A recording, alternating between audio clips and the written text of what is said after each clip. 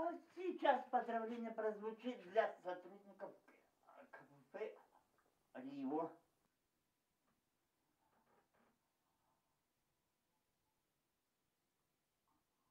Вот и праздник крещения наступил, вот и праздник православный заслужил. И заведующие